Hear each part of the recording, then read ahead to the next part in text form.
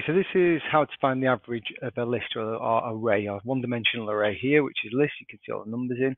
I've defined a variable called sum. So the first thing we need to do is iterate through every element within this array to add them all up. So we use a for loop to that. For i items in list. And then what I'm going to do is put sum equals sum plus i. So what that will do is it will uh, add up each one of these elements. The first time through sum zero, then it's going to say 0 plus 11, so it'll become sum will become 11. The next time through, it'll be uh, sum will be 11 and i will be 22. Um, so that will become 33 and so on and so forth to add them all up.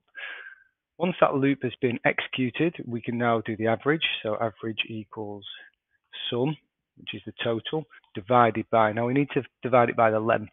The, the easiest way to do this is using the len command.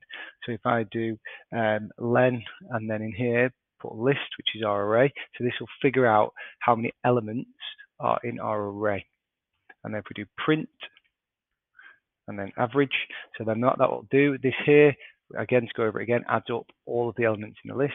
This here using a len divides it by the length and then prints it out. So if I run this code now, the average to this list of data is 44. So that's how to work the average out um, using a list or a data structure in Python.